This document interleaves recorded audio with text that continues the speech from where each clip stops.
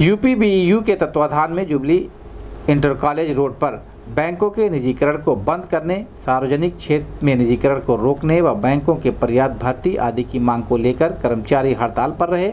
इस दौरान सभा की गई। सभा की अध्यक्षता के के तिवारी और संचालन यूपीएन सिंह ने किया। इस संबंध में यूपीएन सिंह ने सरकार की से जनहित में लंबित पड़ी मांगों पर विचार कर अविलंब पूरा करने की मांग की है। इस संबंध में गोरखपुर न्यूज़ से बात करते हुए यूपीएन सिंह ने कहा। जो हमसे टकराएगा, लड़ेंगे लड़ेंगे। बाहर आंदोलन जिंदाबाद। जो हमसे टकराएगा, जो हमसे टकराएगा, आवाज़ दो। आवाज़ दो। आवाज़ दो। आवाज़ दो। आवाज़ दो। जो हमसे टकराएगा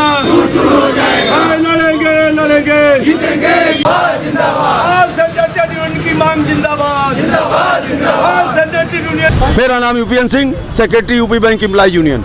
हमारा यह डिमांड है बैंकिंग के दस बारह मुद्दे हैं। उसके पहले हमारे ऑल सेंटर ट्रेड यूनियन के जो सात मुद्दे हैं कि गैर इनकम टैक्स पे को साढ़े सात हज़ार पर मंथ दिया जाए।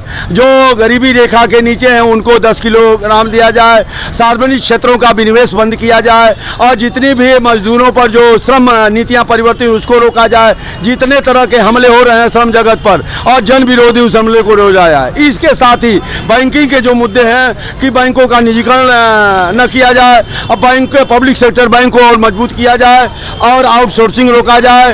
फाइव डेज़ बैंकिंग बैंकों का लागू हो और जमा ब्याज दर पर ब्याज दर की बढ़ोतरी किया जाए और पेंशन अपडेशन किया जाए और जितनी तरह के हमारे नीतिगत बैंक पर हमले हो रहे हैं, उनको रोका जाए।